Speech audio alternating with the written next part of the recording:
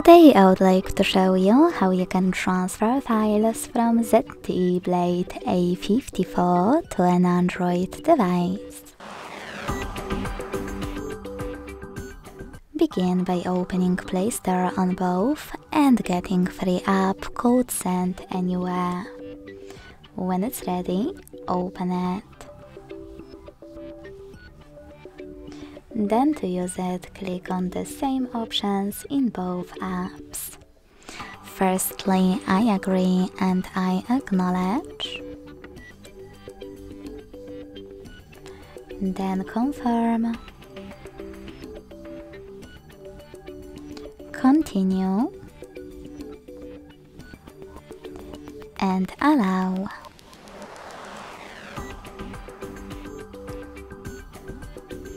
In this window about new updates, you can select Not Now or close it right away by hitting OK. Then click on your device's screens and select Send at the bottom left corner of ZTE. Then Receive right next to Send at the bottom of an Android. Also on ZTE, thanks to all of those categories at the top, pick all of your files to transfer.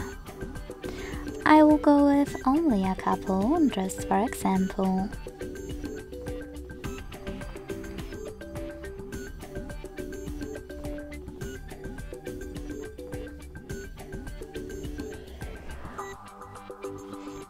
When you finished, hit send next to selected at the bottom and hit got it in here's some tip pop-up. Now it's time to decide which connection way will be better for you. If you want to connect by inputting this key, click on input key section and type in all of those numbers in correct order. Then hit receive and wait.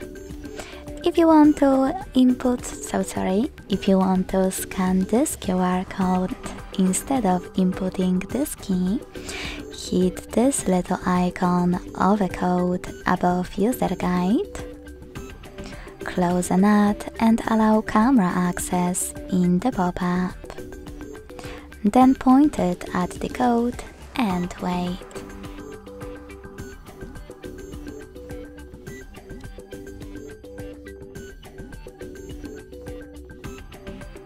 As you can see, after that, all of my files were successfully transferred.